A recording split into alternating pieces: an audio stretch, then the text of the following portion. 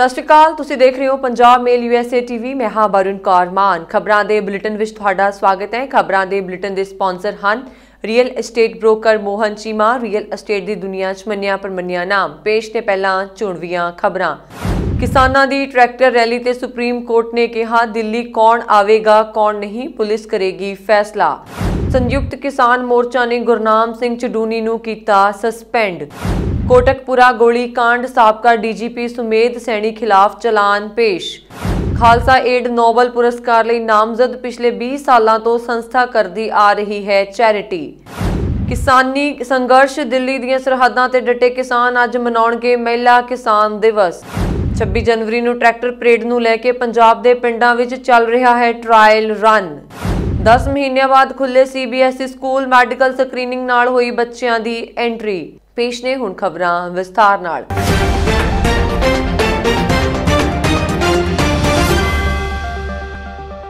ਖੇਤੀਬਾੜੀ ਕਾਨੂੰਨ ਖਿਲਾਫ ਕਿਸਾਨਾਂ ਦਾ ਅੰਦੋਲਨ ਅੱਜ 54ਵੇਂ ਦਿਨ ਵੀ ਜਾਰੀ ਹੈ। ਇਸ ਕੜਾਕੇ ਦੀ ਠੰਡ ਦੇ ਬਾਵਜੂਦ ਵੀ ਕਿਸਾਨਾਂ ਦੇ ਹੌਸਲੇ ਬੁਲੰਦ ਹਨ। ਲਗਾਤਾਰ ਪ੍ਰਦਰਸ਼ਨ ਕਰ ਰਹੇ ਨੇ। ਕਿਸਾਨਾਂ ਨੇ 26 ਜਨਵਰੀ ਨੂੰ ਇੱਕ ਟਰੈਕਟਰ ਰੈਲੀ ਕੱਢਣ ਦਾ ਐਲਾਨ ਕੀਤਾ ਹੈ। ਇਸ ਮਾਮਲੇ ਸੰਬੰਧੀ ਹੁਣ ਸੁਪਰੀਮ ਕੋਰਟ ਵਿੱਚ ਸੁਣਵਾਈ ਹੋਈ ਹੈ। ਸੁਪਰੀਮ ਕੋਰਟ ਨੇ ਸੋਮਵਾਰ ਨੂੰ ਕਿਹਾ ਕਿ ਇਹ ਫੈਸਲਾ ਕਰਨਾ ਪੁਲਿਸ ਦਾ ਕੰਮ ਹੈ ਕਿ ਕੀ ਕਿਸਾਨਾਂ ਨੂੰ ਟਰੈਕਟਰ ਰੈਲੀ ਕੱਢਣ ਦਿੱਤੀ ਜਾਵੇਗੀ ਜਾਂ ਨਹੀਂ।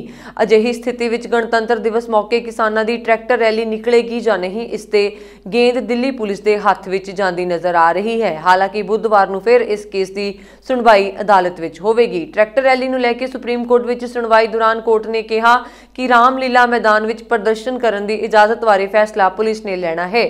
ਨਾਲ ਹੀ ਅਦਾਲਤ ਨੇ ਕਿਹਾ ਕਿ ਪੁਲਿਸ ਇਹ ਤੈਅ ਕਰੇਗੀ ਕਿ ਕਿੰਨੇ ਲੋਕ ਸ਼ਹਿਰ ਵਿੱਚ ਆਉਣਗੇ ਅਤੇ ਕਿਵੇਂ ਆਉਣਗੇ। ਚੀਫ ਜਸਟਿਸ ਨੇ ਕਿਹਾ ਕਿ ਹੁਣ ਅਦਾਲਤ ਨੂੰ ਦੱਸਣਾ ਪਏਗਾ ਕਿ ਪੁਲਿਸ ਐਕਟ ਤਹਿਤ ਸਰਕਾਰ ਕੋਲ ਕਿਹੜੀ ਸ਼ਕਤੀ ਹੈ। ਹੁਣ ਇਸ ਮਾਮਲੇ ਦੀ ਸੁਣਵਾਈ ਬੁੱਧਵਾਰ ਨੂੰ ਸੁਪਰੀਮ ਕੋਰਟ ਵਿੱਚ ਹੋਵੇਗੀ।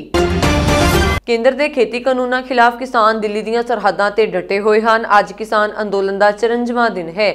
ਇਸ ਵਿਚਾਲੇ ਕਿਸਾਨ ਜਥੇਬੰਦੀਆਂ ਨਾਲ ਜੁੜੇ ਇੱਕ ਵੱਡੀ ਖਬਰ ਸਾਹਮਣੇ ਆਈ ਹੈ। ਮਿਲੀ ਜਾਣਕਾਰੀ ਅਨੁਸਾਰ ਸੰਯੁਕਤ ਕਿਸਾਨ ਮੋਰਚਾ ਵੱਲੋਂ ਭਾਰਤੀ ਕਿਸਾਨ ਯੂਨੀਅਨ ਦੇ ਮੁਖੀ ਗੁਰਨਾਮ ਸਿੰਘ ਚਡੂਨੀ ਨੇ ਮੁਅੱਤਲ ਕਰ ਦਿੱਤਾ ਗਿਆ ਹੈ। ਸੂਤਰਾਂ ਅਨੁਸਾਰ ਚਡੂਨੀ ਨੂੰ ਸੰਯੁਕਤ ਕਿਸਾਨ ਮੋਰਚਾ ਦੀ ਮੁੱਖ 7 ਮੈਂਬਰੀ ਕਮੇਟੀ ਤੋਂ ਵੀ ਮੁਅੱਤਲ ਕੀਤਾ ਗਿਆ ਹੈ। ਉਹਨਾਂ ਨੂੰ 19 ਜਨਵਰੀ ਨੂੰ ਕੇਂਦਰ ਸਰਕਾਰ ਨਾਲ ਹੋਣ ਵਾਲੀ ਬੈਠਕ ਤੋਂ ਵੀ ਬਾਹਰ ਰੱਖਿਆ ਜਾਵੇਗਾ। ਦਰਅਸਲ ਗੁਰਨਾਮ ਚਡੂਨੀ ਤੇ ਰਾਜਨੀਤਿਕ ਪਾਰਟੀਆਂ ਨਾਲ ਮੁਲਾਕਾਤ ਕਰਨ ਅਤੇ ਅੰਦੋਲਨ ਨਾਲ ਸੰਬੰਧਿਤ ਪ੍ਰੋਗਰਾਮ ਕਰਨ ਦਾ ਦੋਸ਼ ਲਾਇਆ ਗਿਆ ਹੈ। ਇਸ ਤੋਂ ਇਲਾਵਾ ਚਡੂਨੀ ਤੇ ਆਮ ਆਦਮੀ ਪਾਰਟੀ ਅਤੇ ਕਾਂਗਰਸ ਨੇਤਾਵਾਂ ਨਾਲ ਮੁਲਾਕਾਤ ਕਰਨ ਦੇ ਵੀ ਦੋਸ਼ ਲੱਗੇ ਹਨ। ਇਸ ਮਾਮਲੇ ਦੀ ਜਾਂਚ ਪੂਰੀ ਹੋਣ ਤੱਕ ਚਡੂਨੀ ਯੂਨਾਈਟਿਡ ਕਿਸਾਨ ਮੋਰਚੇ ਦੀਆਂ ਅੰਦਰੂਨੀ ਮੀਟਿੰਗਾਂ ਤੇ ਕੇਂਦਰ ਸਰਕਾਰ ਨਾਲ ਬੈਠਕ ਤੋਂ ਬਾਹਰ ਵੀ ਰਹਿਣਗੇ। ਦੱਸ ਦਈਏ ਕਿ ਸੰਯੁਕਤ ਕਿਸਾਨ ਮੋਰਚੇ ਵੱਲ ਇਹ ਫੈਸਲਾ ਅਜਿਹੇ ਸਮੇਂ ਲਿਆ ਗਿਆ ਹੈ ਜਦੋਂ ਸੋਮਵਾਰ ਯਾਨੀ ਅੱਜ ਸੁਪਰੀਮ ਕੋਰਟ ਵਿੱਚ ਖੇਤੀਬਾੜੀ ਕਾਨੂੰਨਾਂ ਨਾਲ ਜੁੜੇ ਮੁੱਦੇ ਤੇ ਸੁਣਵਾਈ ਹੋਣ ਜਾ ਰਹੀ ਹੈ। ਇਸ ਤੋਂ ਇਲਾਵਾ 19 ਜਨਵਰੀ ਨੂੰ ਕੇਂਦਰ ਸਰਕਾਰ ਤੇ ਕਿਸਾਨ ਜਥੇਬੰਦੀਆਂ ਵਿਚਾਲੇ ਇੱਕ ਬੈਠਕ ਵੀ ਹੋਣ ਵਾਲੀ ਏ। ਵਿਸ਼ੇਸ਼ ਜਾਂਚ ਟੀਮ ਨੇ ਕੋਟਕਪੁਰਾ ਗੋਲੀ ਕਾਂਡ ਵਿੱਚ ਪੰਜਾਬ ਦੇ ਸਾਬਕਾ ਡੀਜੀਪੀ ਸੁਮੇਧ ਸੈਣੀ ਖਿਲਾਫ ਚਲਾਨ ਪੇਸ਼ ਕਰ ਦਿੱਤਾ ਹੈ। ਸਿੱਟ ਨੇ ਚਲਾਨ ਵਿੱਚ ਕੋਟਕਪੁਰਾ ਗੋਲੀ ਕਾਂਡ ਦੀ ਸਾਜ਼ਿਸ਼ ਵਿੱਚ ਸਾਬਕਾ ਡੀਜੀਪੀ ਦੀ ਸ਼ਮੂਲੀਅਤ ਦਾ ਦਾਅਵਾ ਕੀਤਾ ਹੈ ਇਸ ਤੋਂ ਪਹਿਲਾਂ ਜਾਂਚ ਟੀਮ ਬੈਬਲ ਗੋਲੀ ਕਾਂਡ ਵਿੱਚ ਵੀ ਸੁਮੇਧ ਸੈਣੀ ਖਿਲਾਫ ਅਦਾਲਤ ਵਿੱਚ ਚਲਾਨ ਪੇਸ਼ ਕਰ ਚੁੱਕੀ ਹੈ। ਚੇਤੇ ਕਰ ਰਹੇ ਹੈ ਕਿ 14 ਅਕਤੂਬਰ 2015 ਦੀ ਸਵੇਰ ਨੂੰ ਕੋਟਕਪੁਰਾ ਵਿੱਚ ਵਾਪਰੇ ਗੋਲੀ ਕਾਂਡ ਦੌਰਾਨ 34 ਤੋਂ ਵੱਧ ਵਿਅਕਤੀ ਜ਼ਖਮੀ ਹੋ ਗਏ। ਪੁਲਿਸ ਨੇ ਮਗਰੋਂ ਧਰਨਾਕਾਰੀਆਂ ਖਿਲਾਫ ਹੀ ਇਰਾਦਾ ਕਤਲ ਅਤੇ ਅਗੰਜ਼ੀ ਦੇ ਦੋਸ਼ਾਂ ਤਹਿਤ ਪਰਚੇ ਦਰਜ ਕਰ ਦਿੱਤੇ ਸਨ। ਗੈਰ ਮੁਨਾਫਾ ਮਨੁੱਖਤਾਵਾਦੀ ਸੰਗਠਨ ਖਾਲਸਾ ਏਡ ਨੇ ਸੋਮਵਾਰ ਨੂੰ ਸੋਸ਼ਲ ਮੀਡੀਆ ਤੇ ਐਲਾਨ ਕੀਤਾ ਹੈ ਕਿ ਕੈਨੇਡੀਅਨ ਸੰਸਦ ਮੈਂਬਰ ਟਿਮ ਉੱਪਲ ਬ੍ਰਾਂਪਟਨ ਦੇ ਮੇਅਰ ਪੈਟ੍ਰਿਕ ਬ੍ਰਾਊਨ ਬ੍ਰੈਂਪਟਨ ਦੇ ਐਮਪੀ ਪ੍ਰਭਮਿਤ ਸਰਕਾਰੀਆ ਤੇ ਹੋਰਾਂ ਵੱਲੋਂ ਉਹਨਾਂ ਨੂੰ ਅਧਿਕਾਰਤ ਤੌਰ ਤੇ ਨੋਬਲ ਸ਼ਾਂਤੀ ਪੁਰਸਕਾਰ ਲਈ ਨਾਮਜ਼ਦ ਕੀਤਾ ਗਿਆ ਹੈ। Tim Uppal Edmonton Mill Woods ਤੋਂ ਐਮਪੀ ਹਨ। ਖਾਲਸਾ ਏਡ ਦੇ ਮੋਢੀ ਅਤੇ ਸੀਈਓ ਰਵਿੰਦਰ ਸਿੰਘ ਰਵੀ ਨੇ ਇਸ ਨਾਮਜ਼ਦਗੀ ਦਾ ਐਲਾਨ ਕਰਦੇ ਹੋਏ ਟਵੀਟ ਕਰਕੇ ਕਿਹਾ, ਅਸੀਂ ਇਸ ਨਾਮਜ਼ਦਗੀ ਲਈ ਤਹਿ ਦਿਲੋਂ ਧੰਨਵਾਦੀ ਹਾਂ। ਦੁਨੀਆ ਭਰ ਵਿੱਚ ਮੌਜੂਦ ਸਾਡੀਆਂ ਟੀਮਾਂ ਅਤੇ ਵਲੰਟੀਅਰਾਂ ਦਾ ਅਸੀਂ ਧੰਨਵਾਦ ਕਰਦੇ ਹਾਂ। ਸਾਡੀ ਟੀਮ ਅਤੇ ਵਲੰਟੀਅਰ ਇਸ ਇਤਿਹਾਸਕ ਨਾਮਜ਼ਦਗੀ ਲਈ ਰੀਣੀ ਹਨ। ਜ਼ਿਕਰਯੋਗ ਹੈ ਕਿ ਸਿੱਖੀ ਸਿਧਾਂਤਾਂ ਤੇ ਆਧਾਰਿਤ ਅੰਤਰਰਾਸ਼ਟਰੀ ਮਨੁੱਖਤਾਵਾਦੀ ਸਹਾਇਤਾ ਸੰਸਥਾ ਹੈ। ਇਸ ਸੰਸਥਾ ਦੇ ਮੋਢੀ ਰਵਿੰਦਰ ਸਿੰਘ ਰਵੀ ਨੇ ਟਵੀਟ ਕਰਕੇ ਇਹ ਜਾਣਕਾਰੀ ਦਿੱਤੀ ਹੈ। ਉਹਨਾਂ ਦਾ ਕਹਿਣਾ ਹੈ ਕਿ ਪਿਛਲੇ 20 ਸਾਲਾਂ ਤੋਂ ਖਾਲਸਾ ਏਡ ਸੰਸਥਾ ਚੈਰਿਟੀ ਕਰਦੀ ਆ ਰਹੀ ਹੈ। ਹੜਾਂ ਪੁਚਾਲ ਅਤੇ ਹੋਰ ਕੁਦਰਤ ਅਤੇ ਮਨੁੱਖੀ ਵੱਲੋਂ ਬਣਾਈਆਂ ਆਫਤਾਂ ਦੇ ਪੀੜਤਾਂ ਲਈ ਵਿਸ਼ਵਾਸ ਭਰ ਵਿੱਚ ਮਦਦ ਪ੍ਰਦਾਨ ਕਰ ਰਹੀ ਹੈ। ਉਹਨਾਂ ਦੀ ਸੰਸਥਾ ਦੁਨੀਆ ਭਰ ਵਿੱਚ ਲੱਖਾਂ ਲੋਕਾਂ ਨੂੰ ਮਦਦ ਪ੍ਰਦਾਨ ਕਰਨ ਦੇ ਯੋਗ ਹੋ ਗਈ ਹੈ। ਦੱਸ ਹੈ ਕਿ ਪਿਛਲੇ ਸਾਲ ਦਸੰਬਰ ਤੋਂ ਖਾਲਸਾ ਏਡ ਤਿੰਨ ਖੇਤੀ ਕਾਨੂੰਨਾਂ ਨੂੰ ਰੱਦ ਕਰਵਾਉਣ ਲਈ ਕਿਸਾਨਾਂ ਵੱਲੋਂ ਦਿੱਲੀ ਬਾਰਡਰ ਤੇ ਵਿੱਢੇ ਸ਼ਾਂਤਮਈ ਸੰਘਰਸ਼ ਲਈ ਟਿਕਰੀ ਬਾਰਡਰ ਤੇ ਰੋਜ਼ਾਨਾ ਲੋੜ ਦੀਆਂ ਵਸਤਾਂ ਮੁਹੱਈਆ ਕਰਵਾ ਰਹੀ ਹੈ।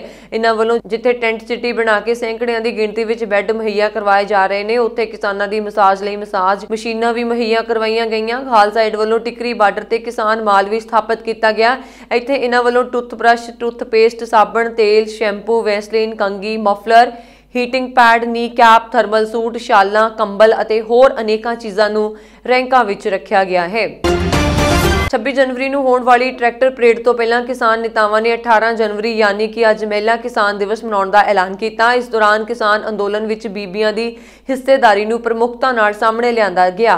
ਕਿਸਾਨ ਨੇਤਾਵਾਂ ਮੁਤਾਬਕ ਇਹ ਪਹਿਲਾ ਮੌਕਾ ਹੈ ਜਦੋਂ ਕਿਸਾਨ ਅੰਦੋਲਨ ਵਿੱਚ ਬੀਬੀਆਂ ਦੀ ਹਿੱਸੇਦਾਰੀ ਨੇ ਆਪਣੀ ਵੱਖਰੀ ਅਹਿਮੀਅਤ ਵਿਖਾਈ ਹੈ। ਬੇਸ਼ੱਕ ਬੀਬੀਆਂ ਦੇ ਪੱਧਰ ਤੇ ਇਸ ਅੰਦੋਲਨ ਵਿੱਚ ਅਜੇ ਵੀ ਬੀਬੀਆਂ ਦੀ ਹਿੱਸੇਦਾਰੀ ਸਮੇਂ ਦੀ ਜ਼ਰੂਰਤ ਹੈ, ਪਰ ਜਿਸ ਤਰ੍ਹਾਂ ਨੌਜਵਾਨ ਕੁੜੀਆਂ ਨੇ ਮੋਰਚਾ ਸੰਭਾਲਿਆ ਹੈ, ਉਹ ਆਪਣੇ ਆਪ ਵਿੱਚ ਅਨੋਖਾ ਹੈ। ਕਿਸਾਨ ਆਗੂਆਂ ਮੁਤਾਬਕ ਇਹ ਵੱਡਾ ਬਦਲਾਅ ਹੈ ਕਿ ਪੜ੍ਹ ਲਿਖ ਕੇ ਜਾਗਰੂਕ ਹੋਈਆਂ ਖੁਦ ਇਸ ਅੰਦੋਲਨ ਦਾ ਹਿੱਸਾ ਬਣ ਰਹੀਆਂ ਨੇ। ਇਸ ਨੂੰ ਆਉਣ ਵਾਲੇ ਸਮੇਂ ਵਿੱਚ ਬੀਬੀਆਂ ਦੇ ਵੱਡੇ ਅੰਦੋਲਨ ਦਾ ਨੀਂਹ ਪੱਥਰ ਮੰਨਿਆ ਜਾ ਸਕਦਾ ਹੈ, ਕਿਉਂਕਿ ਇਹ ਅੰਦੋਲਨ ਭਵਿੱਖ ਵਿੱਚ ਬੀਬੀਆਂ ਤੇ ਕੇਂਦਰਿਤ ਅੰਦੋਲਨ ਦੀ ਨਵੀਂ ਰੂਪਰੇਖਾ ਤੈਅ ਕਰੇਗਾ। ਇਸ ਲਈ 18 ਜਨਵਰੀ ਨੂੰ ਮਹਿਲਾ ਕਿਸਾਨ ਦਿਵਸ ਮਨਾਇਆ ਜਾ ਰਿਹਾ ਹੈ ਤਾਂ ਕਿ ਬੀਬੀਆਂ ਦੀ ਆਵਾਜ਼ ਨੂੰ ਬੁਲੰਦ ਕੀਤਾ ਜਾ ਸਕੇ। ਇਸ ਕੜੀ ਵਿੱਚ ਨੌਜਵਾਨਾਂ ਨੂੰ ਵੀ ਲਗਾਤਾਰ ਜੋੜਿਆ ਜਾ ਰਿਹਾ ਹੈ ਕਿਉਂਕਿ ਬਹੁਤੇ ਨੌਜਵਾਨ ਅਜਿਹੇ ਹਨ ਜੋ ਪਹਿਲੀ ਵਾਰ ਇੰਨੇ ਵੱਡੇ ਅੰਦੋਲਨ ਦਾ ਹਿੱਸਾ ਬਣ ਰਹੇ ਨੇ। ਹਾਲਾਂਕਿ ਇਹ ਨੌਜਵਾਨ ਜੋਸ਼ ਭਰੇ ਅੰਦੋਲਨ ਕਾਰਨ ਹਿੱਸਾ ਬਣੇ ਹਨ, ਪਰ ਇੱਥੇ ਹੋਣ ਵਾਲੇ ਸਲਾਹ ਮਸ਼ਵਰੇ ਦੇ ਵਿੱਚ ਇਹਨਾਂ ਨੌਜਵਾਨਾਂ ਨੂੰ ਬਦਲ ਰਹੀ ਸਿਆਸਤ ਨੂੰ ਸਮਝਣ ਦਾ ਮੌਕਾ ਵੀ ਮਿਲ ਰਿਹਾ ਹੈ। ਇਹਨਾਂ ਨੌਜਵਾਨਾਂ ਨੂੰ ਇਸ ਗੱਲ ਦਾ ਗਹਿਰਾ ਅਹਿਸਾਸ ਹੈ ਕਿ ਕੇਂਦਰ ਸਰਕਾਰ ਦੇ ਖੇਤੀਬਾੜੀ ਕਾਨੂੰਨ ਦੀ ਵਾਪਸੀ ਉਹਨਾਂ ਦੀ ਪਹਿਲੀ ਵੱਡੀ ਜਿੱਤ ਹੋਵੇਗੀ ਅਤੇ ਇਹ ਜਿੱਤ ਪੰਜਾਬ ਦਾ ਭਵਿੱਖ ਤੈਅ ਕਰੇਗੀ। ਦਿੱਲੀ ਬਾਰਡਰ ਤੇ ਡਟੇ ਕਿਸਾਨਾਂ ਦੀ 26 ਜਨਵਰੀ ਨੂੰ ਪ੍ਰਸਤਾਵਿਤ ਟਰੈਕਟਰ ਪਰੇਡ ਤੋਂ ਪਹਿਲਾਂ ਪੰਜਾਬ ਦੇ ਪਿੰਡਾਂ ਵਿੱਚ ਮਾਹੌਲ ਗਰਮਾ ਗਿਆ ਹੈ। ਪੰਜਾਬ ਦੇ ਪਿੰਡਾਂ ਵਿੱਚ ਅੱਜਕੱਲ ਟ੍ਰਾਇਲ ਤੌਰ ਤੇ ਟਰੈਕਟਰ ਪਰੇਡ ਕੱਢੀ ਜਾ ਰਹੀ ਹੈ ਤਾਂ ਕਿ ਜ਼ਿਆਦਾ ਤੋਂ ਜ਼ਿਆਦਾ ਕਿਸਾਨਾਂ ਨੂੰ ਟਰੈਕਟਰਾਂ ਸਮੇਤ ਟਰੈਕਟਰ ਪਰੇਡ ਵਿੱਚ ਸ਼ਾਮਲ ਹੋਣ ਲਈ ਉਤਸ਼ਾਹਿਤ ਕੀਤਾ ਜਾ ਸਕੇ। ਕੁਝ ਪਿੰਡਾਂ ਵਿੱਚ ਤਾਂ ਪ੍ਰਭਾਤ ਫੇਰੀ ਦੌਰਾਨ ਵੀ ਟਰੈਕਟਰਾਂ ਦੇ ਕਾਰਵਾਂ ਨਾਲ ਚੱਲ ਰਹੇ ਹਨ। ਤੜਕੇ ਨਿਕਲਣ ਵਾਲੇ ਟਰੈਕਟਰਾਂ ਦਾ ਇਹ ਕਾਰਵਾ ਕਿਸਾਨਾਂ ਨੂੰ ਕਾਫੀ ਉਤਸ਼ਾਹਿਤ ਕਰ ਰਿਹਾ ਹੈ। ਉਂਝ ਇਹ ਟਰੈਕਟਰ ਪਰੇਡ ਕਿਸਾਨਾਂ ਦੇ ਸਮਰਥਨ ਦਾ ਐਲਾਨ ਹੈ, ਪਰ ਸ੍ਰੀ ਗੁਰੂ ਗੋਬਿੰਦ ਸਿੰਘ ਜੀ ਦੇ ਪ੍ਰਕਾਸ਼ ਉਤਸਵ ਨੂੰ ਲੈ ਕੇ ਕੱਢੀਆਂ ਜਾਣ ਵਾਲੀਆਂ ਪ੍ਰਭਾਤ ਫੇਰੀਆਂ ਨਾਲ ਇਹ ਕਿਸਾਨੀ ਕਾਰਵਾ ਧਾਰਮਿਕ ਆਸਥਾ ਨਾਲ ਵੀ ਜੁੜਦਾ ਜਾ ਰਿਹਾ ਹੈ। ਵੱਡੀ ਤਦਾਦ ਵਿੱਚ ਨੌਜਵਾਨ ਸਵੇਰੇ ਪਹੁ ਫਟਣ ਤੋਂ ਪਹਿਲਾਂ ਇਹ ਕੋਸ਼ ਲਗਾ ਕੇ ਘਰ-ਘਰ ਵਿੱਚ ਜੋਸ਼ ਭਰ ਰਹੇ ਹਨ। ਬਰਨਾਲੇ ਦੇ ਪਿੰਡ ਤਾਸਕੋ ਦੇ ਰਹਿਣ ਵਾਲੇ ਨੌਜਵਾਨ ਕਿਸਾਨ ਗੁਰਦੀਪ ਸਿੰਘ ਮੁਤਾਬਕ ਉਹਨਾਂ ਦੇ ਪਿੰਡ ਦੇ ਕਰੀਬ 50 ਟਰੈਕਟਰ ਅੱਜਕੱਲ ਹਰ ਰੋਜ਼ ਇਲਾਕੇ ਵਿੱਚ ਟਰੈਕਟਰ ਪਰੇਡ ਦਾ ਟ੍ਰਾਇਲ ਕਰ ਰਹੇ ਨੇ। ਇਹਨਾਂ ਵਿੱਚੋਂ ਜ਼ਿਆਦਾਤਰ ਟਰੈਕਟਰਾਂ ਵਾਲੇ ਕਿਸਾਨ ਦਿੱਲੀ ਬਾਰਡਰ ਤੋਂ ਆਏ ਹਨ, ਜਿਨ੍ਹਾਂ ਨੂੰ ਹੁਣ ਪੰਜਾਬ ਦੇ ਵੱਖ-ਵੱਖ ਪਿੰਡਾਂ ਵਿੱਚ ਜਨਤਾ ਨੂੰ ਜਾਗਰੂਕ ਕਰਨ ਲਈ ਭੇਜਿਆ ਗਿਆ ਹੈ। ਇਹ ਕਿਸਾਨ ਟਰੈਕਟਰ ਪਰੇਡ ਤੋਂ ਇਲਾਵਾ ਪਿੰਡ-ਪਿੰਡ ਜਾ ਕੇ ਜਨਤਾ ਨੂੰ ਦਿੱਲੀ ਦੇ ਹਾਲਾਤ ਤੋਂ ਜਾਣੂ ਵੀ ਕਰਵਾ ਰਹੇ ਨੇ। ਨਾਲ ਹੀ 26 ਜਨਵਰੀ ਨੂੰ ਦਿੱਲੀ ਪਰੇਡ ਵਿੱਚ ਸ਼ਾਮਲ ਹੋਣ ਲਈ ਸੱਦਾ ਵੀ ਦੇ ਰਹੇ ਨੇ। ਗੁਰਦੀਪ ਸਿੰਘ ਮੁਤਾਬਕ ਉਹ ਖੁਦ ਕਰੀਬ ਡੇਢ ਮਹੀਨੇ ਤੱਕ ਦਿੱਲੀ ਬਾਰਡਰ ਤੇ ਹੀ ਡਟੇ ਹੋਏ ਸਨ ਅਤੇ ਪਿਛਲੇ ਦਿਨੀ ਹੀ ਪਿੰਡ ਵਾਪਸ ਆਏ ਹਨ। ਹੁਣ ਦੁਬਾਰਾ ਤੋਂ ਦਿੱਲੀ ਪਰੇਡ ਵਿੱਚ ਸ਼ਾਮਲ ਹੋਣ ਦੀ ਤਿਆਰੀ ਕੀਤੀ ਜਾ ਰਹੀ ਹੈ। ਸ਼ੌਰਿਆ ਚੱਕਰ ਜੇਤੂ ਕਾਮਰੇਡ ਬਲਵਿੰਦਰ ਸਿੰਘ ਭਿੱਖੀ ਵਿੰਡ ਕਤਲ ਕਾਂਡ ਵਿੱਚ ਗ੍ਰਿਫਤਾਰ ਕੀਤੇ ਸ਼ੂਟਰ ਗੁਰਜੀਤ ਭਾ ਸੁਖਦੀਪਪੁਰਾ ਤੇ ਤਿੰਨ ਕਸ਼ਮੀਰੀਆਂ ਸ਼ਬੀਰ ਅਹਿਮਦ, ਯੂਸਫ ਪਠਾਨ, ਰਿਆਜ਼ ਰਠੇਰ ਨੂੰ ਐਤਵਾਰ ਨੂੰ ਅਦਾਲਤ ਵਿੱਚ ਪੇਸ਼ ਕਰਕੇ 5 ਦਿਨਾਂ ਦਾ ਹੋਰ ਰਿਮਾਂਡ ਲਿਆ ਗਿਆ ਹੈ। ਸੂਤਰਾਂ ਮੁਤਾਬਕ ਕਾਮਰੇਡ ਕਤਲ ਕਾਂਡ ਨਾਲ ਸੰਬੰਧਿਤ ਕੁਝ ਦਸਤਾਵੇਜ਼ ਪੁਲਿਸ ਦੇ ਹੱਥ ਲੱਗ ਚੁੱਕੇ ਨੇ। ਇਸ ਦੇ ਆਧਾਰ ਤੇ ਇਹਨਾਂ ਅੰਸਰਾਂ ਤੋਂ ਹੋਰ ਪੁੱਛ ਪੜਤਾਲ ਕਰਨ ਲਈ ਐਤਵਾਰ ਨੂੰ ਮੁੜ 5 ਦਿਨਾਂ ਦਾ ਰਿਮਾਂਡ ਹਾਸਲ ਕੀਤਾ ਗਿਆ ਹੈ। ਇਹਨਾਂ ਪੰਜਾਂ ਜਾਣਿਆਂ ਨੂੰ ਦਿੱਲੀ ਦੀ ਤਿਹਾੜ ਜੇਲ੍ਹ ਤੋਂ ਮੰਗਲਵਾਰ ਨੂੰ ਲਿਆ ਕੇ ਪੱਟੀ ਦੀ ਅਦਾਲਤ ਵਿੱਚ ਪੇਸ਼ ਕੀਤਾ ਗਿਆ ਸੀ। ਉਸ ਵੇਲੇ ਅਦਾਲਤ ਨੇ ਪੰਜਾਂ ਜਾਣਿਆਂ ਦਾ ਰਿਮਾਂਡ ਦਿੱਤਾ ਸੀ। ਕਾਮਰੇਡ ਬਲਵਿੰਦਰ ਦੀ 16 ਅਕਤੂਬਰ ਨੂੰ ਭਿੱਖੀ ਵਿੰਡ ਵਿੱਚ ਗੋਲੀਆਂ ਮਾਰ ਕੇ ਹੱਤਿਆ ਕੀਤੀ ਗਈ ਸੀ। ਭਾ ਦੇ ਪੂਰੇ ਨੇ ਇਹ ਕੈਟਾਗਰੀ ਦੇ ਗੈਂਗਸਟਰ ਸੁਖ ਭਿਖਾਰੀਵਾਲ ਦੇ ਇਸ਼ਾਰੇ ਤੇ ਇਹ ਕਤਲ ਅੰਜਾਮ ਦਿੱਤਾ ਸੀ। ਭਿਖਰੀਵਾਲ ਦੁਬਈ ਵਿੱਚ ਰਹਿੰਦਾ ਸੀ। ਦੱਸਣਯੋਗ ਹੈ ਕਿ 7 ਸਤੰਬਰ ਨੂੰ ਦੋਵਾਂ ਸ਼ੂਟਰਾਂ ਦੇ ਨਾਲ ਜੰਮੂ ਕਸ਼ਮੀਰ ਨਾਲ ਸੰਬੰਧਿਤ ਤਿੰਨ ਅੱਤਵਾਦੀਆਂ ਨੂੰ ਦਿੱਲੀ ਵਿੱਚ ਕਾਬੂ ਕੀਤਾ ਗਿਆ। ਫਿਰ 8 ਅਕਤੂਬਰ ਨੂੰ ਦੁਬਈ ਦੀ ਪੁਲਿਸ ਨੇ ਭਿਖਰੀਵਾਲ ਨੂੰ ਫੜ ਲਿਆ ਸੀ ਤੇ ਡਿਪੋਰਟ ਕਰਕੇ ਦਿੱਲੀ ਕੱਲ ਦਿੱਤਾ ਸੀ। ਦਿੱਲੀ ਪੁਲਿਸ ਨੇ ਭਿਖਰੀਵਾਲ ਨੂੰ ਹਵਾਈ ਅੱਡੇ ਤੇ ਕਾਬੂ ਕਰ ਲਿਆ ਸੀ। ਉਹ ਹਾਲੇ ਤਾਈਂ ਪੁਲਿਸ ਰਿਮਾਂਡ ਤੇ ਹੈ ਤੇ ਉਥੋਂ ਟ੍ਰਾਂਜ਼ਿਟ ਰਿਮਾਂਡ ਤੇ ਤਰਨਤਾਰਨ ਲਿਆਂਦਾ ਜਾਵੇਗਾ। ਜਲੰਧਰ ਵਿੱਚ ਸੀਬੀਐਸਈ ਦੇ ਸਕੂਲ 10 ਮਹੀਨੇ ਦੇ ਬਾਅਦ ਖੁੱਲਣ ਲੱਗੇ ਹਨ। ਵਿਦਿਆਰਥੀਆਂ ਦੀ ਸੁਰੱਖਿਆ ਦੇ ਲਿਹਾਜ਼ ਨਾਲ ਸਕੂਲ ਦੇ ਪ੍ਰਵੇਸ਼ ਦੁਆਰ ਤੇ ਵਿਦਿਆਰਥੀਆਂ ਦੀ ਮੈਡੀਕਲ ਸਕਰੀਨਿੰਗ ਕੀਤੀ ਗਈ, ਜਿਸ ਵਿੱਚ ਵਿਦਿਆਰਥੀਆਂ ਦੇ ਸਰੀਰ ਦਾ ਤਾਪਮਾਨ ਦੇਖਣ ਤੋਂ ਬਾਅਦ ਹੀ ਉਹਨਾਂ ਨੂੰ ਸਿੱਧੇ ਕਲਾਸਾਂ ਵਿੱਚ ਭੇਜਿਆ ਗਿਆ। ਸਕੂਲ ਗੇਟ ਨਾਲ-ਨਾਲ ਕਲਾਸਾਂ ਤੋਂ ਬਾਹਰ ਸੈਨੀਟਾਈਜ਼ਰ ਸਟੈਂਡ ਲਗਾਏ ਗਏ ਹਨ, ਜਿਸ ਵਿੱਚ ਵਿਦਿਆਰਥੀ ਪੈਰ ਤੋਂ ਸੈਨੀਟਾਈਜ਼ਰ ਸਟੈਂਡ ਦਾ ਇਸਤੇਮਾਲ ਕਰਕੇ ਹੱਥਾਂ ਨੂੰ ਸੈਨੀਟਾਈਜ਼ ਕਰਦਿਆਂ ਸਕੂਲ ਵਿੱਚ ਪ੍ਰਵੇਸ਼ ਕਰ ਰਹੇ ਹਨ। ਵਿਦਿਆਰਥੀਆਂ ਦੀ ਆਪਸ ਵਿੱਚ ਸਰੀਰਕ ਦੂਰੀ ਵੀ ਬਣੀ ਰਹੇ, ਇਸ ਲਈ ਸਾਰਿਆਂ ਨੂੰ ਲੜੀਵਾਰ ਭੇਜਿਆ ਜਾ ਰਿਹਾ ਸੀ ਤਾਂ ਜੋ ਕਿਸੇ ਦੇ ਸੰਪਰਕ ਵਿੱਚ ਨਾ ਆਉਣ। ਇਹੀ ਨਹੀਂ, ਪ੍ਰਵੇਸ਼ ਦੌਰਾਨ ਪਹਿਲਾਂ ਅਧਿਆਪਕਾਂ ਦੀ ਵੀ ਮੈਡੀਕਲ ਸਕਰੀਨਿੰਗ ਹੋਈ। ਕਲਾਸਾਂ ਵਿੱਚ ਸੀਟਿੰਗ ਅਰੇਂਜਮੈਂਟ ਕੀਤਾ ਹੋਇਆ ਸੀ, ਜਿਸ ਨਾਲ ਵਿਦਿਆਰਥੀ ਦੂਰੀ ਦੇ ਹਿਸਾਬ ਨਾਲ ਬੈਠ ਸਕਣ। ਅਧਿਆਪਕਾਂ ਵੱਲੋਂ ਉਹਨਾਂ ਨੂੰ ਪ੍ਰਵੇਸ਼ ਦੌਰਾਨ ਹੀ ਕਿਸੇ ਵੀ ਚੀਜ਼ਾਂ ਨੂੰ ਛੇੜਨ ਤੋਂ ਪਰਹੇਜ਼ ਰੱਖਣ ਲਈ ਜਾਗਰੂਕ ਕੀਤਾ ਗਿਆ ਤਾਂ ਜੋ ਉਹ ਸੰਕਰਮਣ ਤੋਂ ਬਚੇ ਰਹੇ। ਭਾਰਤ ਤੋਂ ਕੈਨੇਡਾ ਫਲਾਈਟ ਚੜ੍ਹਨ ਤੋਂ ਪਹਿਲਾਂ ਯਾਤਰੀਆਂ ਕੋਲ 72 ਘੰਟੇ ਦੇ ਅੰਦਰ ਕੋਵਿਡ-19 ਕਰੋਨਾ ਦਾ ਟੈਸਟ ਕਰਵਾਇਆ ਹੋਣਾ ਜ਼ਰੂਰੀ ਹੈ। ਇਹ ਟੈਸਟ PCR ਜਾਂ LAMP ਹੋਣਾ ਚਾਹੀਦਾ ਹੈ ਅਤੇ ਟੈਸਟ ਦੀ ਰਿਪੋਰਟ ਨੈਗੇਟਿਵ ਹੋਣੀ ਚਾਹੀਦੀ ਹੈ। ਇਹ ਟੈਸਟ ਭਾਵੇਂ ਕਿਤੇ ਵੀ ਕਰਵਾਇਆ ਗਿਆ ਹੋਵੇ, ਪਰ ਸ਼ਰਤ ਇਹ ਹੈ ਕਿ ਇਹ ਟੈਸਟ 72 ਘੰਟੇ ਤੋਂ ਪੁਰਾਣਾ ਨਾ ਹੋਵੇ। ਇਹ ਟੈਸਟ ਸਰਕਾਰ ਵੱਲੋਂ ਜਾਂ ਕਿਸੇ ਅਧਿਕਾਰਕ ਸੰਸਥਾ ਤੋਂ ਮਾਨਤਾ ਪ੍ਰਾਪਤ ਏਜੰਸੀ ਤੋਂ ਕਰਵਾਇਆ ਗਿਆ ਹੋਵੇ। ਇਸ ਦੀ ਵਰਤੋਂ ਕਮਾਂਤਰੀ ਯਾਤਰਾ ਲਈ ਕਰਨ ਦੀ ਇਜਾਜ਼ਤ ਹੋਵੇ। 에ਅਰਪੋਰਟ ਤੇ ਟੈਸਟ ਕਰਵਾਉਣ ਲਈ ਉਸ ਵੇਲੇ ਹੀ ਆਖਿਆ ਜਾਵੇ, ਜਦੋਂ ਤੁਹਾਡੀ ਟੈਸਟ ਰਿਪੋਰਟ 72 ਘੰਟੇ ਤੋਂ ਵੱਧ ਪੁਰਾਣੀ ਹੋਵੇਗੀ ਜਾਂ ਟੈਸਟ ਕਿਸੇ ਮਾਨਤਾ ਪ੍ਰਾਪਤ ਏਜੰਸੀ ਤੋਂ ਕਰਵਾਇਆ ਗਿਆ ਨਹੀਂ ਹੋਵੇਗਾ।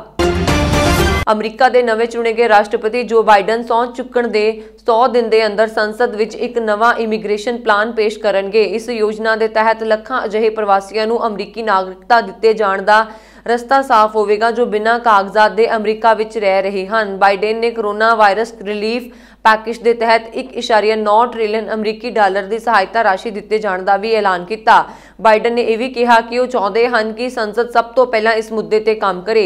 ਵਾਈਟ ਹਾਊਸ ਦੇ ਨਵੇਂ ਨਿਯੁਕਤ ਹੋਏ chief of staff Ron Klain ਨੇ ਆਗਾਮੀ ਵਾਈਟ ਹਾਊਸ ਦੇ ਸੀਨੀਅਰ ਕਰਮੀਆਂ ਨੂੰ ਦਿੱਤੇ ਇੱਕ ਬਿਆਨ ਵਿੱਚ ਕਿਹਾ, ਨਵੇਂ ਚੁਣੇ ਗਏ ਰਾਸ਼ਟਰਪਤੀ ਜੋ ਬਾਈਡਨ ਅਜਿਹੇ ਸਮੇਂ ਵਿੱਚ ਅਹੁਦਾ ਸੰਭਾਲ ਰਹੇ ਹਨ ਜਦੋਂ ਦੇਸ਼ ਗੰਭੀਰ ਸੰਕਟ ਨਾਲ ਜੂਝ ਰਿਹਾ ਹੈ। ਕੋਵਿਡ-19 ਦੇ ਨਾਲ ਪੈਦਾ ਹੋਇਆ ਆਰਥਿਕ ਸੰਕਟ, ਵਾਤਾਵਰਣ ਨਾਲ ਜੁੜਿਆ ਸੰਕਟ ਅਤੇ ਨਸਲੀ ਅਸਮਾਨਤਾ ਸੰਕਟ ਦੇ ਹੱਲ ਲਈ ਤੁਰੰਤ ਕਦਮ ਚੁੱਕੇ ਜਾਣ ਦੀ ਲੋੜ ਹੈ। ਬਾਈਡਨ ਆਪਣੇ ਕਾਰਜਕਾਲ ਦੇ ਸ਼ੁਰੂਆਤੀ 10 ਦਿਨਾਂ ਵਿੱਚ ਇਹ ਸੰਕਟਾਂ ਨਾਲ ਨਜਿੱਠਣ ਲਈ ਫੈਸਲਾਕੁਨ ਕਦਮ ਚੁੱਕਣਗੇ। ਬੁੱਧਵਾਰ ਨੂੰ ਸੌਂ ਚੁੱਕਣ ਦੇ ਬਾਅਦ ਬਾਈਡਨ ਕਰੀਬ 12 ਅਹਿਮ ਫੈਸਲੇ ਲੈਣ ਜਾ ਰਹੇ ਨੇ। ਇਹਨਾਂ ਫੈਸਲਿਆਂ ਦਾ ਅਸਰ ਨਾ ਸਿਰਫ ਅਮਰੀਕਾ ਸਗੋਂ ਪੂਰੀ ਦੁਨੀਆ ਤੇ ਪਵੇਗਾ। ਇਹਨਾਂ ਪ੍ਰਸਤਾਵਾਂ ਦੇ ਜ਼ਰੀਏ ਅਮਰੀਕਾ ਵਾਪਸ ਪੈਰਿਸ ਜਲਵਾਯੂ ਸਮਝੌਤੇ ਨਾਲ ਜੁੜ ਜਾਵੇਗਾ। ਨਾਲ ਹੀ ਮੁਸਲਿਮ ਦੇਸ਼ਾਂ ਤੇ ਲੱਗੀ ਯਾਤਰਾ ਪਾਬੰਦੀ ਵੀ ਖਤਮ ਹੋ ਜਾਵੇਗੀ। ਬਾਈਡਨ ਪਹਿਲੇ ਹੀ ਦਿਨ ਅਮਰੀਕੀ ਲੋਕਾਂ ਨੂੰ ਕੋਰੋਨਾ ਮਹਾਮਾਰੀ ਨਾਲ ਜੁੜਿਆ ਰਾਹਤ ਪੈਕੇਜ ਵੀ ਦੇਣਗੇ। ਇਸ ਦੇ ਤਹਿਤ ਵਿਦਿਆਰਥੀਆਂ ਦੇ ਕਰਜ਼ ਭੁਗਤਾਨ ਨੂੰ ਮੁਅੱਤਲ ਰੱਖਣ ਦਾ ਫੈਸਲਾ ਲਿਆ ਜਾਵੇਗਾ। ਨਾਲ ਹੀ ਬਾਈਡਨ ਸਾਰੀਆਂ ਫੈਡਰਲ ਪ੍ਰਾਪਰਟੀਆਂ ਤੇ ਮਾਸਕ ਪਾਉਣਾ ਲਾਜ਼ਮੀ ਕਰਨਗੇ। ਸਾਰੇ ਕਾਰਜਕਾਰੀ ਆਰਡਰਾਂ ਤੇ ਦਸਤਖਤ ਕਰਨ ਦੇ ਨਾਲ ਹੀ ਬਾਈਡਨ ਨਵੇਂ ਕਾਨੂੰਨ ਅਤੇ ਸੰਸਦ ਵਿੱਚ ਪਾਸ ਕਰਵਾਉਣ ਲਈ ਨਵੀਆਂ ਯੋਜਨਾਵਾਂ ਤੇ ਵੀ ਕੰਮ ਕਰ ਰਹੇ ਹਨ। ਅਮਰੀਕਾ ਦੀ ਉਪ ਰਾਸ਼ਟਰਪਤੀ ਚੁਣੀ ਗਈ ਕਮਲਾ ਹੈਰਿਸ ਸੋਮਵਾਰ ਨੂੰ ਉਸਦੇ ਅਤੇ ਰਾਸ਼ਟਰਪਤੀ ਚੁਣੇ ਗਏ ਜੋ ਬਾਈਡਨ ਦੇ ਸਹੁੰ ਚੁੱਕ ਸਮਾਗਮ ਤੋਂ 2 ਦਿਨ ਪਹਿਲਾਂ ਆਪਣੀ ਸੈਨੇਟ ਦੀ ਸੀਟ ਤੋਂ ਅਸਤੀਫਾ ਦੇ ਦੇਵੇਗੀ। ਕੈਲੀਫੋਰਨੀਆ ਦੇ ਡੈਮੋਕ੍ਰੇਟ ਸਹਿਯੋਗੀਆਂ ਨੇ ਇਸ ਦੀ ਪੁਸ਼ਟੀ ਕਰਦਿਆਂ ਦੱਸਿਆ ਕਿ ਗੈਵਿਨ ਨਿਊਸਮ ਉਸ ਦੇ ਫੈਸਲੇ ਤੋਂ ਜਾਣੂ ਸਨ, ਜਿਸ ਲਈ ਇਸ ਕਾਰਜਕਾਲ ਦੇ ਅਖੀਰਲੇ 2 ਸਾਲਾਂ ਦੀ ਸੇਵਾ ਨਿਭਾਉਣ ਲਈ ਡੈਮੋਕ੍ਰੇਟਸ ਐਲੈਕਸ ਪਡੀਲਾ ਨੂੰ ਇਸ ਅਹੁਦੇ ਲਈ ਨਿਯੁਕਤ ਕਰਨ ਦਾ ਐਲਾਨ ਕੀਤਾ ਸੀ ਅਤੇ ਪਡੀਲਾ ਕਮਲਾ ਹੈਰਿਸ ਦੇ ਬਾਅਦ ਕੈਲੀਫੋਰਨੀਆ ਤੋਂ ਪਹਿਲੇ ਲਾਤੀਨੋ ਸੈਨੇਟਰ ਹੋਣਗੇ। ਕਮਲਾ ਹੈਰਿਸ ਉਪ ਰਾਸ਼ਟਰਪਤੀ ਵਜੋਂ ਸੇਵਾ ਨਿਭਾਉਣ ਵਾਲੀ ਦੱਖਣੀ ਏਸ਼ੀਆਈ ਮੂਲ ਦੀ ਪਹਿਲੀ ਗੈਰ ਗੋਰੀ ਔਰਤ ਹੋਵੇਗੀ। ਹੈਰਿਸ ਨੂੰ ਸਾਲ 2017 ਵਿੱਚ ਸੈਨੇਟ ਵਿੱਚ ਸ਼ਾਮਲ ਹੋਣ ਤੋਂ ਤੁਰੰਤ ਬਾਅਦ ਭਵਿੱਖ ਦੇ ਰਾਸ਼ਟਰਪਤੀ ਉਮੀਦਵਾਰ ਵਜੋਂ ਵੇਖਿਆ ਗਿਆ ਸੀ। ਉਸਨੇ ਜਨਵਰੀ 2019 ਵਿੱਚ ਆਪਣੀ ਵਾਈਟ ਹਾਊਸ ਦੇ ਸਫ਼ਰ ਦਾ ਐਲਾਨ ਕੀਤਾ ਸੀ ਅਤੇ ਉਸ ਦੇ ਬਾਅਦ ਬਾਈਡਨ ਜੋ ਕਿ ਇੱਕ ਸਾਬਕਾ ਸੈਨੇਟਰ ਹੈ, ਨੇ ਹੈਰਿਸ ਨੂੰ ਅਗਸਤ ਵਿੱਚ ਰਾਸ਼ਟਰੀ ਟਿਕਟ ਵਿੱਚ ਸ਼ਾਮਲ ਹੋਣ ਲਈ ਸੱਦਾ ਦਿੱਤਾ ਸੀ। ਅਮਰੀਕਾ ਦੇ ਨਵੇਂ ਚੁਣੇ ਗਏ ਰਾਸ਼ਟਰਪਤੀ ਜੋ ਬਾਈਡਨ ਨੇ ਇਤਿਹਾਸ ਰਚਿਆ ਹੈ। 20 ਜਨਵਰੀ ਨੂੰ ਸੌਂ ਚੁੱਕਣ ਜਾ ਰਹੇ ਬਾਈਡਨ ਨੇ ਆਪਣੇ ਪ੍ਰਸ਼ਾਸਨ ਵਿੱਚ ਅਹਿਮ ਅਹੁਦਿਆਂ ਤੇ 13 ਬੀਬੀਆਂ ਸਮੇਤ ਘੱਟੋ-ਘੱਟ 20 ਭਾਰਤੀ ਅਮਰੀਕੀਆਂ ਨੂੰ ਨਾਮਜ਼ਦ ਕੀਤਾ ਹੈ ਇਹਨਾਂ 20 ਭਾਰਤੀ ਅਮਰੀਕੀਆਂ ਵਿੱਚ ਘੱਟੋ-ਘੱਟ 17 ਲੋਕ ਸ਼ਕਤੀਸ਼ਾਲੀ ਵਾਈਟ ਹਾਊਸ ਵਿੱਚ ਮਹੱਤਵਪੂਰਨ ਅਹੁਦਾ ਸੰਭਾਲਣਗੇ। ਅਮਰੀਕਾ ਦੀ ਕੁੱਲ ਆਬਾਦੀ ਦਾ 1% ਭਾਰਤੀ ਅਮਰੀਕਨ ਹਨ ਅਤੇ ਇਸ ਛੋਟੇ ਭਾਈਚਾਰੇ ਵਿੱਚੋਂ ਕਿਸੇ ਪ੍ਰਸ਼ਾਸਨ ਵਿੱਚ ਪਹਿਲੀ ਵਾਰ ਇੰਨੀ ਵੱਧ ਗਿਣਤੀ ਵਿੱਚ ਲੋਕਾਂ ਨੂੰ ਨਿਯੁਕਤ ਕੀਤਾ ਜਾਵੇਗਾ। ਬਾਈਡਨ 20 ਜਨਵਰੀ ਨੂੰ ਅਮਰੀਕਾ ਦੇ 46ਵੇਂ ਰਾਸ਼ਟਰਪਤੀ ਦੇ ਤੌਰ ਤੇ ਸਹੁੰ ਚੁੱਕਣਗੇ। ਇਸੇ ਦਿਨ ਕਮਲਾ ਹੈਰਿਸ ਸਹੁੰ ਚੁੱਕ ਕੇ ਦੇਸ਼ ਦੀ ਪਹਿਲੀ ਬੀਬੀ ਉਪ ਰਾਸ਼ਟਰਪਤੀ ਦੇ ਰੂਪ ਵਿੱਚ ਅਹੁਦਾ ਸੰਭਾਲੇਗੀ। ਹੈਰਿਸ ਅਮਰੀਕਾ ਵਿੱਚ ਭਾਰਤੀ ਮੂਲ ਦੀ ਪਹਿਲੀ ਉਪ ਰਾਸ਼ਟਰਪਤੀ ਹੋਵੇਗੀ। ਉਹ ਇਹ ਅਹੁਦਾ ਸੰਭਾਲਣ ਲਈ ਪਹਿਲੀ ਅਫਰੀਕੀ ਅਮਰੀਕੀ ਵੀ ਹੋਵੇਗੀ। ਇਹ ਪਹਿਲੀ ਵਾਰ ਹੈ ਜਦੋਂ ਸੌ ਚੁੱਕ ਸਮਾਗਮ ਤੋਂ ਪਹਿਲਾਂ ਕਿਸੇ ਰਾਸ਼ਟਰਪਤੀ ਦੇ ਪ੍ਰਸ਼ਾਸਨ ਵਿੱਚ ਇੰਨੀ ਵੱਡੀ ਗਿਣਤੀ ਵਿੱਚ ਭਾਰਤੀ ਅਮਰੀਕੀਆਂ ਨੂੰ ਨਾਮਜ਼ਦ ਕੀਤਾ ਗਿਆ ਹੈ। ਬਾਈਡਨ ਦੇ ਪ੍ਰਸ਼ਾਸਨ ਵਿੱਚ ਹੁਣ ਵੀ ਕਈ ਅਹੁਦੇ ਖਾਲੀ ਹਨ। ਇਸ ਸੂਚੀ ਵਿੱਚ ਸਭ ਤੋਂ ਉੱਪਰ ਨੀਰਾ ਟੰਡਨ ਅਤੇ ਡਾਕਟਰ ਵਿਵੇਕ ਮੂਰਤੀ ਹਨ। ਬਾਈਡਨ ਪ੍ਰਸ਼ਾਸਨ ਵਿੱਚ ਵਾਈਟ ਹਾਊਸ ਦਫ਼ਤਰ ਦੇ ਪ੍ਰਬੰਧ ਤੇ ਬਜਟ ਦੇ ਡਾਇਰੈਕਟਰ ਦੇ ਤੌਰ ਤੇ ਟੰਡਨ ਅਤੇ ਅਮਰੀਕੀ ਸਰਜਨ ਜਨਰਲ ਦੇ ਤੌਰ ਤੇ ਡਾਕਟਰ ਵਿਵੇਕ ਮੂਰਤੀ ਨੂੰ ਨਾਮਜ਼ਦ ਕੀਤਾ ਗਿਆ ਹੈ। ਵਨੀਲਾ ਗੁਪਤਾ ਨੂੰ ਕਾਨੂੰਨ ਮੰਤਰਾਲੇ ਦੀ ਐਸੋਸੀਏਟ ਅਟਾਰਨੀ ਜਨਰਲ ਨਾਮਜ਼ਦ ਕੀਤਾ ਗਿਆ ਹੈ। ਵਿਦੇਸ਼ ਸੇਵਾ ਦੀ ਸਾਬਕਾ ਅਧਿਕਾਰੀ ਉਜਰਜਾ ਜਿਆ ਨੂੰ ਸਿਵਲ ਸੁਰੱਖਿਆ, ਲੋਕਤੰਤਰ ਅਤੇ ਮਨੁੱਖੀ ਅਧਿਕਾਰ ਦੇ ਲਈ ਅੰਡਰ ਸੈਕਟਰੀ ਮੰਤਰੀ ਨਿਯੁਕਤ ਕੀਤਾ। ਪਾਕਿਸਤਾਨ ਦੇ ਆਕਸਫੋਰਡ ਐਸਟਰਾਜ਼ੈਨਕਾ ਕੋਵਿਡ-19 ਟੀਕੇ ਦੀ ਐਮਰਜੈਂਸੀ ਵਰਤੋਂ ਨੂੰ ਮਨਜ਼ੂਰੀ ਦੇ ਦਿੱਤੀ ਹੈ ਅਤੇ ਸਰਕਾਰ ਨੂੰ ਉਮੀਦ ਹੈ ਕਿ ਇਹ ਵੈਕਸੀਨ ਸਾਲ ਦੀ ਪਹਿਲੀ ਤਿਮਾਹੀ ਤੱਕ ਉਪਲਬਧ ਕਰਵਾਈ ਜਾਵੇਗੀ। ਪਾਕਿਸਤਾਨ ਵਿੱਚ ਕੋਵਿਡ-19 ਪੀੜਤਾਂ ਦੀ ਗਿਣਤੀ ਵੱਧ ਕੇ 519291 ਹੋ ਗਈ ਹੈ। ਪਾਕਿਸਤਾਨ ਦੀ ਮੀਡੀਆ ਰਿਪੋਰਟ ਅਨੁਸਾਰ ਸਿਹਤ ਮਾਮਲੇ ਤੇ ਪ੍ਰਧਾਨ ਮੰਤਰੀ ਇਮਰਾਨ ਖਾਨ ਦੇ ਵਿਸ਼ੇਸ਼ ਸਹਾਇਕ ਡਾਕਟਰ ਫੈਸਲ ਸੁਲਤਾਨ ਨੇ ਸ਼ਨੀਵਾਰ ਨੂੰ ਇਸ ਗੱਲ ਦੀ ਪੁਸ਼ਟੀ ਕੀਤੀ ਕਿ ਪਾਕਿਸਤਾਨ ਡਰੱਗ ਰੈਗੂਲੇਟਰੀ ਅਥਾਰਟੀ ਨੇ ਪੂਰੇ ਦੇਸ਼ ਵਿੱਚ ਆਕਸਫੋਰਡ ਐਸਟਰਾਜ਼ੈਨਕਾ ਕਰੋਨਾ ਵਾਇਰਸ ਟੀਕੇ ਦੀ ਐਮਰਜੈਂਸੀ ਵਰਤੋਂ ਨੂੰ ਮਨਜ਼ੂਰੀ ਦੇ ਦਿੱਤੀ ਹੈ। ਮੀਡੀਆ ਰਿਪੋਰਟ ਅਨੁਸਾਰ ਯੋਜਨਾ ਮੰਤਰੀ ਅਸਦ ਉਮਰ ਨੇ ਕਿਹਾ ਕਿ ਟੀਕੇ ਨੂੰ ਮਾਰਚ ਤੱਕ ਲਾਂਚ ਕੀਤਾ ਜਾਵੇਗਾ। ਉਮਰ ਦੇਸ਼ ਦੇ corona virus control body national command and operation centre ਦਾ ਮੁਖੀ ਵੀ ਹੈ। ਉਮਰ ਨੇ ਕਿਹਾ ਕਿ ਪਹਿਲੇ ਪੜਾਅ ਵਿੱਚ ਸਿਹਤ ਕਰਮਚਾਰੀਆਂ ਅਤੇ 65 ਸਾਲਾਂ ਜਾਂ ਇਸ ਤੋਂ ਵੱਧ ਉਮਰ ਦੇ ਲੋਕਾਂ ਨੂੰ ਇਹ ਟੀਕਾ ਦਿੱਤਾ ਜਾਵੇਗਾ। ਦੱਸ ਦਈਏ ਕਿ ਇਹ ਟੀਕਾ ਆਕਸਫੋਰਡ ਯੂਨੀਵਰਸਿਟੀ ਦੇ ਵਿਗਿਆਨੀਆਂ ਵੱਲੋਂ ਤਿਆਰ ਕੀਤਾ ਗਿਆ ਹੈ ਅਤੇ ਇਹ ਐਸਟਰਾਜ਼ੇਨਕਾ ਰਾਹੀਂ ਨਿਰਮਿਤ ਹੈ, ਜੋ ਇੱਕ ਬ੍ਰਿਟਿਸ਼, ਸਵੀਡਿਸ਼ ਮਲਟੀਨੈਸ਼ਨਲ ਫਾਰਮਾਸਿਊਟੀਕਲ ਅਤੇ ਬਾਇਓਫਾਰਮਾਸਿਊਟੀਕਲ ਕੰਪਨੀ ਹੈ। ਰਾਸ਼ਟਰੀ ਸਿਹਤ ਸੇਵਾ ਮੰਤਰਾਲੇ ਦੇ ਅਨੁਸਾਰ ਪਾਕਿਸਤਾਨ ਵਿੱਚ ਪਿਛਲੇ 24 ਘੰਟਿਆਂ ਵਿੱਚ 43 ਲੋਕਾਂ ਦੀ ਲਾਗ ਕਾਰਨ ਮੌਤ ਹੋ ਗਈ, ਜਿਸ ਨਾਲ ਦੇਸ਼ ਵਿੱਚ ਮਰਨ ਵਾਲਿਆਂ ਦੀ ਗਿਣਤੀ 10951 ਹੋ ਗਈ। ਇਹ ਸਨ ਹੁਣ ਤੱਕ ਦੀਆਂ ਖਬਰਾਂ। ਮੈਨੂੰ ਬਰੁਣ ਕੌਰ ਮਾਨੂ ਦਿਓ ਆਗਿਆ। ਤੁਸੀਂ ਬਣੇ ਰਹੋ ਪੰਜਾਬ ਮੇਲ ਯੂਐਸਏ ਟੀਵੀ ਦੇ ਨਾਲ। ਸਤਿ ਸ੍ਰੀ ਅਕਾਲ।